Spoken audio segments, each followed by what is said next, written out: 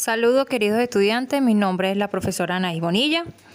El día de hoy vamos a trabajar con lo que es las categorías gramaticales. ¿En qué consiste las categorías gramaticales?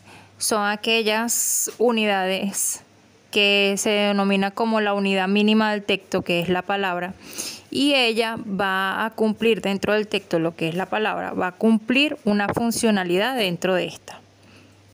Las categorías gramaticales se dividen en determinantes conocidas como artículos, sustantivos, pronombres, verbos, adjetivos, adverbios, preposiciones, conjunciones e interjecciones.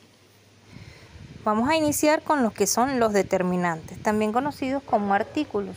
Estos se anteceden a los sustantivos. Eh, ellos tienen la funcionalidad de dar una información concreta como género y número del sustantivo, eh, dependiendo también de la tipología que éste tenga. Dentro de las categorías de los determinantes tenemos aquellos que definen eh, los géneros, tanto masculino como femenino, singular y plural. También tenemos los de posesión que indican a quién pertenece el sustantivo.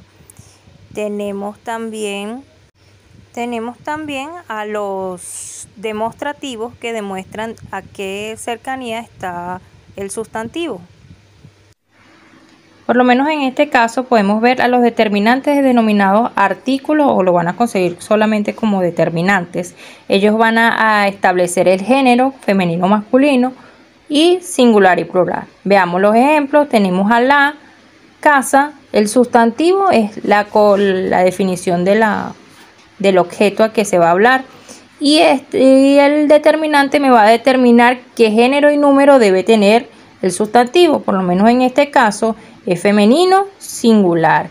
En este ejemplo, el libro, en este caso, él viene siendo masculino singular y los, tenemos que es plural masculino. Eh, vemos que en estos casos los determinantes siempre van a estar antecedidos de la, o, en este caso del sustantivo, ya que solamente van a establecer qué género y número debe tener este.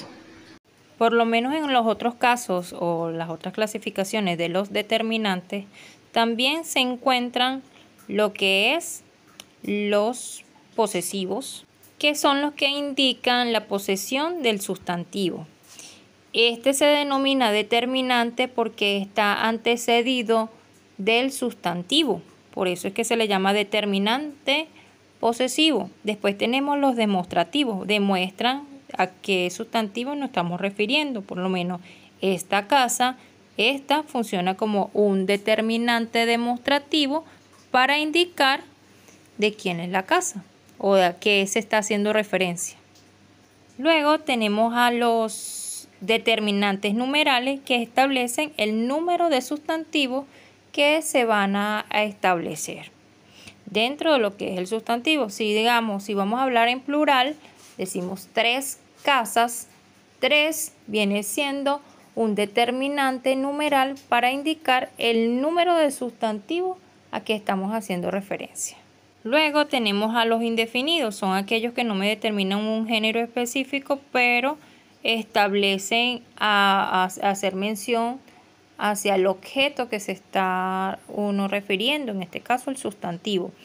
Luego tenemos a los interrogativos. Acá hay un marcaje importante, porque para que pueda ser un determinante, por lo menos el caso de que, debe estar encerrado en signos de interrogación, para que éste pueda funcionar como un determinante.